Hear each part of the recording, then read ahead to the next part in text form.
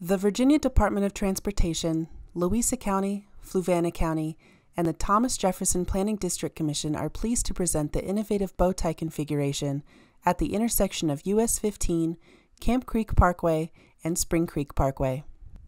This intersection is just north of the diverging diamond interchange between I 64 and US 15 in the Zion Crossroads area and is a critical node for local, regional, and commercial traffic.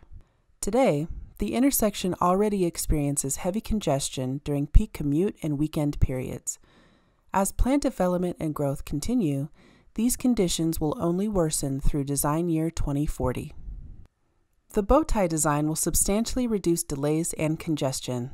At the main intersection, left turns from US 15 are restricted and completed instead by using the adjacent roundabouts to U turn and traverse US 15 through the traffic signal vehicles on Spring Creek or Camp Creek parkways who wish to make a left turn onto US 15 will first travel straight across US 15, U turn at the roundabout, and then turn right onto US 15. All other motorists approaching US 15 who wish to go straight or turn right will proceed as they would at a conventional signal. Bow ties are designed to accommodate all roadway users, including trucks, pedestrians, and bicyclists. The proposed bow tie enhances pedestrian connections as compared to existing conditions. It will also improve freight mobility through the corridor and access to I 64. Our first example movement is a left turn from US 15 to Spring Creek Parkway. At a bow tie, this movement is accomplished as follows.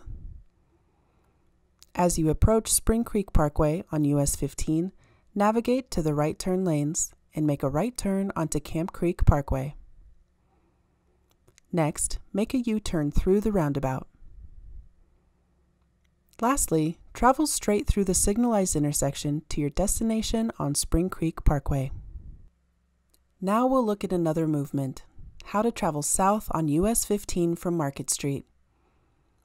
First, make a right turn at the Market Street roundabout.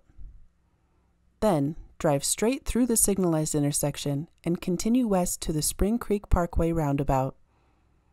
Complete the U-turn through the roundabout and then make a right turn onto US 15 southbound. A bow tie intersection at this location will provide numerous benefits. The bow tie improves safety performance for all users by separating and reducing conflict points. The roundabouts reduce delay, provide comfortable U-turn movements, and maintain local access. The bow tie also reduces queuing and intersection control delay by as much as 50% as compared to the no-build condition. VDOT, Fluvanna County, Louisa County, and the Thomas Jefferson Planning District Commission thank you for your participation. We look forward to offering you better safety, access, and convenience for all users in Zion Crossroads. For more information, please contact Charles Proctor at VDOT or Sandy Shackelford at the Thomas Jefferson Planning District Commission.